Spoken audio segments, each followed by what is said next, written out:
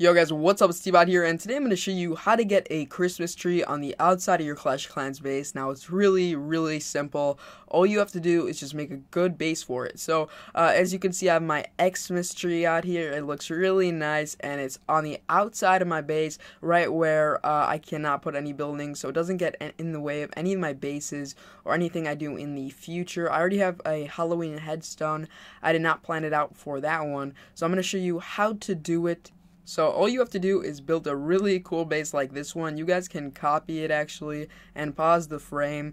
Um, you can see that I cover each 2x2 space and this is really important because if you do not cover each 2x2 space the tree will spawn in there and all you have to do is just wait for the tree to spawn in those uh, on the outside of the base and then you basically have it. And I just noticed I have a gem box so I'm going to collect it in just a few seconds. But um, you really want to cover every 2x2 space so uh, it doesn't spawn in the center of the base or anywhere where you can put buildings so you don't uh, so it doesn't get in the way of the bases you build in the future. So that's basically it on the Christmas tree. Uh, I'm going to show you a replay, but it's very, very simple. Uh, you guys can copy the base that I had earlier.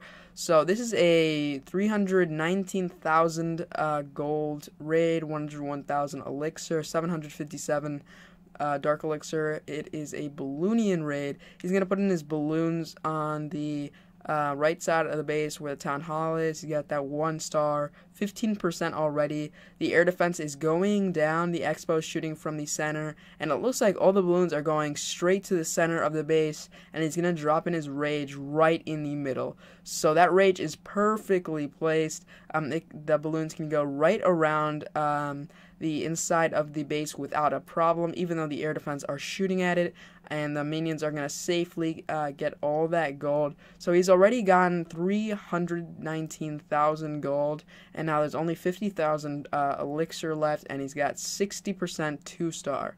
So I'm going to speed this up right here. He's going to send in his Barbarian King and Archer Queen at the bottom of the base. I don't know why he, why he did that, but um, I guess they're going to go in through the right side there. They're going to get that elixir storage. Hopefully they can get the dark elixir. I'm going to speed it up some more here. The mortars are shooting. The barbarian king is about to go down, but he's going to take out the dark elixir storage, or the queen is actually. He's going to go down, and the queen takes it out. So that's going to wrap up the video. He ended with 319,000 gold, 84,000 elixir, and 741 dark elixir. So if you want a base like this one, just go ahead and copy it. Anyways, check out my channel, T-Bot Gaming, in the description below. Rate, comment, subscribe, and I'll see you guys in the next one. Peace.